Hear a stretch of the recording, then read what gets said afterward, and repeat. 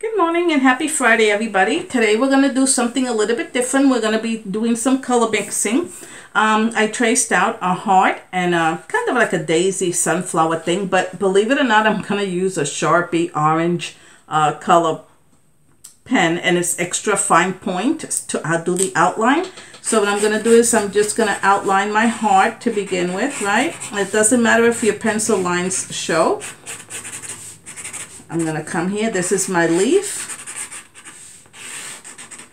And here is my little cone that holds my flower up. This is my center. These are my little petals. And don't worry about the pencil marks. You can always erase those tomorrow when this is dry. Okay, and I'm going to put some little, I don't know, little curves in here. A little triangle here for the center. And remember, I'm paint, I'm doing drawing this really fast because I can do this with my eyes closed, but um, I don't expect you to go at the speed that I am, and you can just take your video and pause it until you get to that point. Okay, and what I'm using is um, mixed media uh, foam board from Strathmore. And you can use any kind of uh, white cardboard you have, any watercolor paper, it doesn't matter. Okay, just remember, we're using whatever we have at home. So I don't want you to go crazy trying to find supplies and say, oh gosh, I don't have that one, right? So now everybody can see that neon orange color there, right? So what I'm going to do is I'm going to uh, first find a paper towel. I forgot to give myself a paper towel. And I'm going to do this little flower uh, uh, pink. So I have some little pink paint here. Whoops, got a little bit of the yellow. Didn't want to do that. Okay, so I'm going to take a little bit of my pink and I'm going to come on the edges here of my cardboard, right? I'm going to wet my brush and then I'm going to take that paint and walk it around the edges here so that they're going to be stronger in, in one side than the other. See that? And this is just regular cardboard. If you have a mat board at home, uh, you've framed something and you don't like it, take that little piece of cardboard on the back of it, take it off and now you have something to paint on. And the reason why I'm doing this is to show you that you can paint on anything. So um, uh, you don't realize all the materials that you have at home that you can actually paint on. So um, I'm doing this so that you don't think that you need, you know, thousands of dollars of paint supplies. So um, this is what I'm going to do now is I'm going to finish this little flower here with my little pinks. And notice that I'm not filling in the whole petal. I'm just leaving some of that white showing, right? The center, I'm going to take a little bit of a yellowy brown and fill that in. And I'm going to put a darker side here, but I'm going to leave the right side or your left um, a little bit lighter. Starting to look like something, right? So I'm going to take a little bit of red paint and I'm going to water it down and I'm going to come at the edges here and walk it out a little bit to give it a little contrast. See that?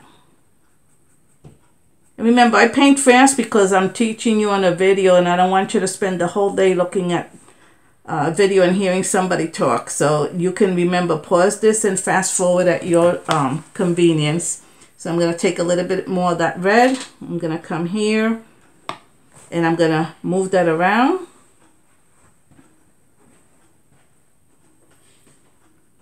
And where the petal uh, meets the center of the flower, that's going to be my darkest area. See that? I'm going really dark here where that meets. And that's going to give it a little contrast.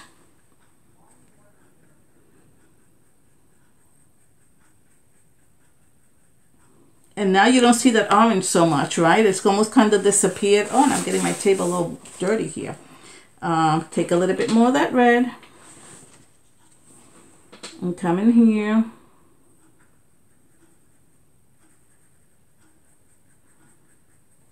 And what I like about it is you can still see those little see those little orange pen lines. Uh, they're showing up, but they're not really in your face. See that? So now we have a little flower. Now, if you notice, I didn't do all my petals exactly the same size.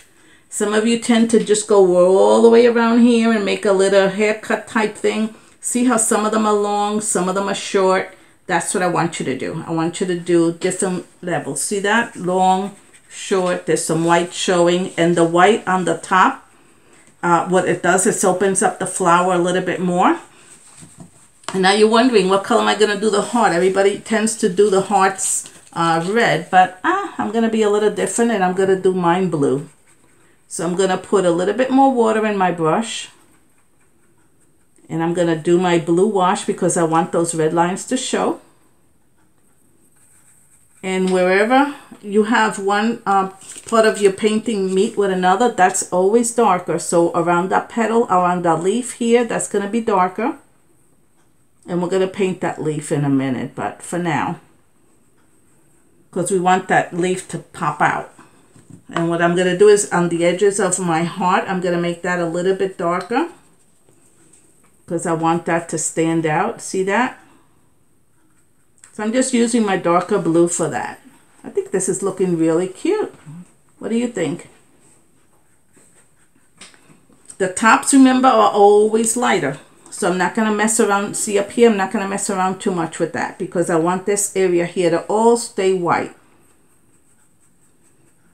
And it's okay if you see a little bit of that orange. I think that looks pretty cute if you ask me. But what you know what do I think? I think it's painting is cool anyway so anything that you paint is really nice. I'm gonna come back here and put a little bit of that brown in there. Now our, our, our leaf here is gonna be green so I'm gonna take a little bit of my green paint and just do the bottom of my leaf. See I didn't put a lot of paint on there. That's it. That's all it needs. A, a lot of times less is more. Okay and now we're gonna do the stem.